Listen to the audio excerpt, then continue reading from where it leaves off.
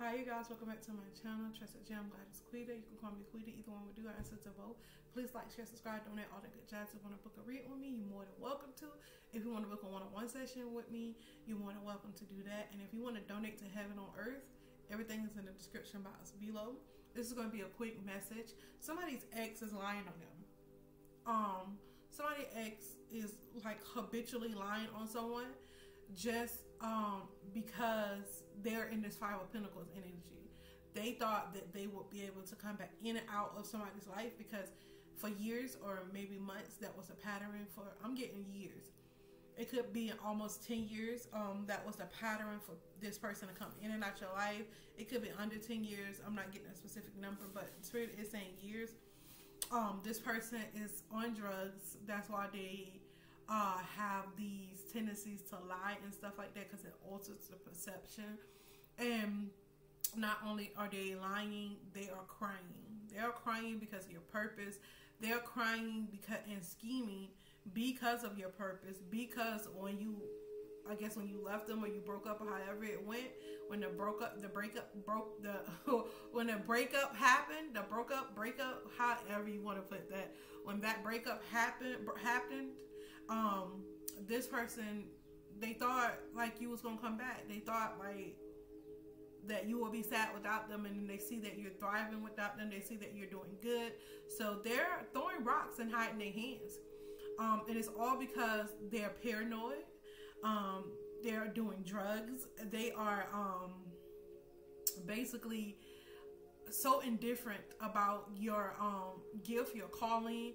They probably doubted you for the longest, and they probably were the person that the the biggest person that was holding you back. Um, I, I do feel like they're scheming and and they're trying to they're losing control um, they are not taking care of their mental health, their physical health, um, because they just thought you would be back by now, and you're not back.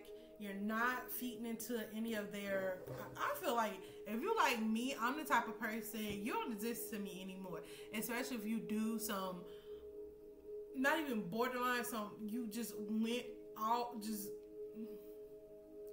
yeah when you went all the way out your way to do something you didn't have to do it a lot of people who are like that there a lot of people take drugs and it alters their personality it also it alters their perception so instead of doing something positive they're more apt to do something negative because they're already addicted to drugs.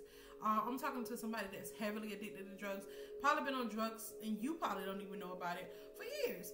And that's why this person don't have a lot of money that you don't know what they do with their money and this person may act nonchalant about it and very um, good at hiding their drug problem but and they are very good at functioning with the drugs but nevertheless this person is very um, indifferent about your calling your purpose. Um, they saying that it's lies that you're a liar but Spirit said, through all the suffering, you still gonna shine brightly because you stand strong, you stand in your purpose, healthy boundaries. i am getting somebody that's a really high vibrational. You have healthy, healthy boundary, boundaries. You have healthy coping mechanisms. A lot of people don't have healthy coping mechanisms.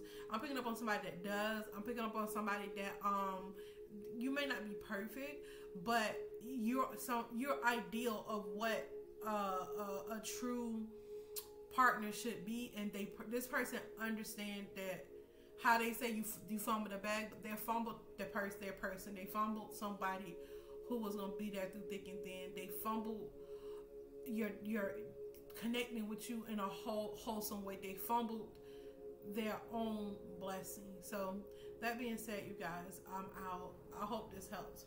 Peace. Much love.